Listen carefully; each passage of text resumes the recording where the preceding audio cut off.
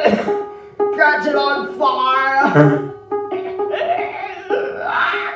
I love air conditioning. And simply be toast about it. I love air conditioning. Ugh.